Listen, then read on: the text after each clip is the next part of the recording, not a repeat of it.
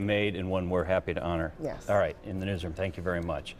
Well, they are joining forces to cut it out, domestic violence, that is. More than 100 area salons and spas, plus a few out of state, are putting on a fundraiser for victims of the salon shooting. Our Beverly Taylor tells us it is a fundraiser that's grown beyond the organizers' imagination. We thought, wouldn't that really make a statement if 12 salons got on board to raise money for the Azana victims and to help create awareness for domestic violence? Well, the organizers went from small statement to a massive one as 116 salons and spas came on board, donating a portion of the day's receipts to a fund set up for the Azana victims at Associated Bank. Now, these are spas from the Milwaukee area, Madison, Sheboygan, and out of state. North Carolina, Georgia, California, Texas, New York, New Jersey. It's really overwhelming to see the response from the country to want to help.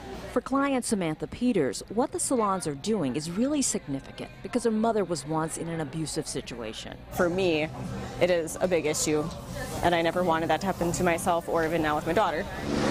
The horror of the October 21st shooting, when gunman Radcliffe Haughton walked into the Azana Spa and Salon, killing his estranged wife, stylist Zina Daniel, and two other employees, and wounding four more women before taking his own life. It all still resonates in the minds of many stylists and their clients. It was awful, heartbreaking.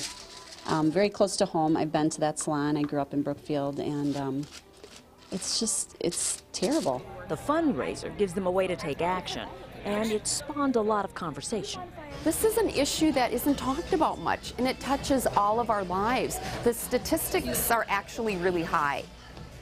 One of the things that I learned was that one in three women will be abused in their lifetime by a partner. So 116 salons and spas are participating, donating between 5 and 25 percent of today's sales.